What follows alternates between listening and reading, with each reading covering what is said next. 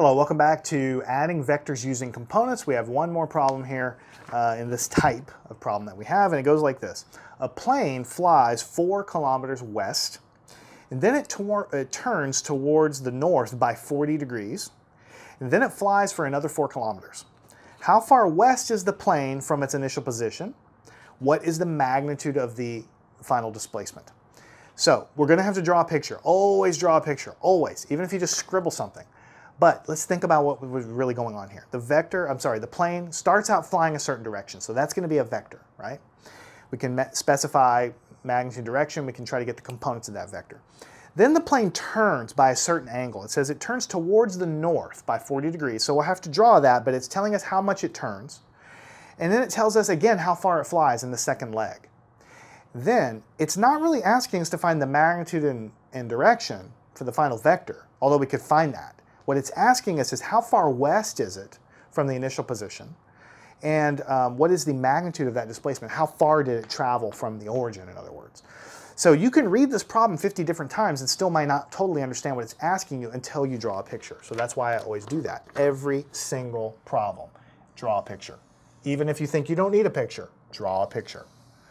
All right, if I'm a teacher and you get everything wrong, but you draw the correct picture, I'm still going to give you some points because I'm going to at least know what you know something about what's happening. Okay, so the first part says a plane flies four kilometers west. We're going to assume it starts at the airport or something from the origin here, and it goes four kilometers west. This is, again, um, west. This is, of course, east and north and south. Okay, so we have, let's compress things a little bit. One, two, three, four. That's four units to the left, four kilometers to the left.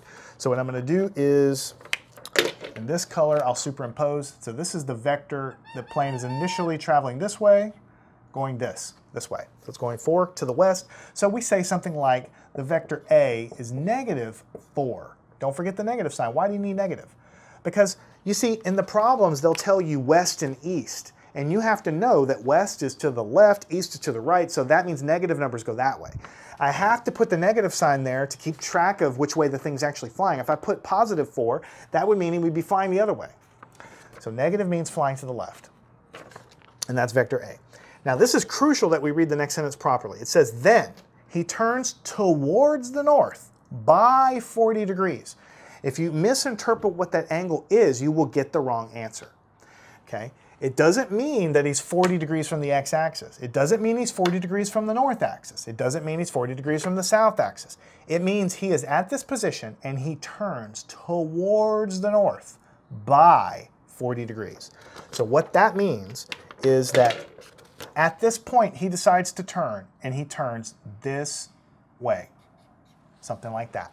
How much did he turn by? He turned 40 degrees towards the north. That's what that means.